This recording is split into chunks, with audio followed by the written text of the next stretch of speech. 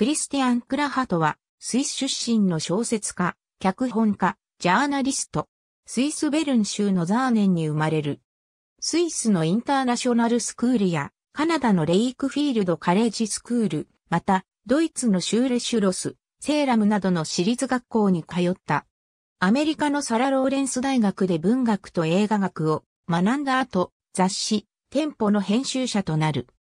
その後、雑誌、シュピーゲルのインド特派員、日曜版ベルト氏の旅行コラムニスト、日刊紙フランクフルターアルゲマイネ・ツァイトゥングのコラムニストなどを務めた。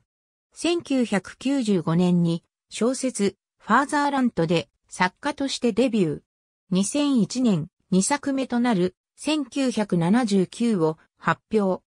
2004年から2008年まで作家のエックハルト・ニッケルと共にネパールのカトマンズにて雑誌デア・フロイントを刊行していた。2008年3作目の小説僕はここにいるだろう。日向に影にを発表。2012年4作目となる帝国を発表し、この作品でミルヘルム・ラーベ文学賞を受賞。2013年には妻フラウカ・フィンスター・ウォルダーが監督を務めた長編映画フィンスター・ワールドの脚本をフィンスター・ウォルダーと共に執筆。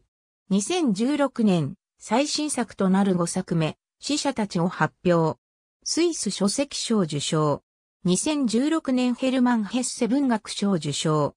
2017年9月、ドイツの文芸批評雑誌テキストクラティックにて特集号が組まれる。2018年5月、フランクフルト私学講義に招聘された。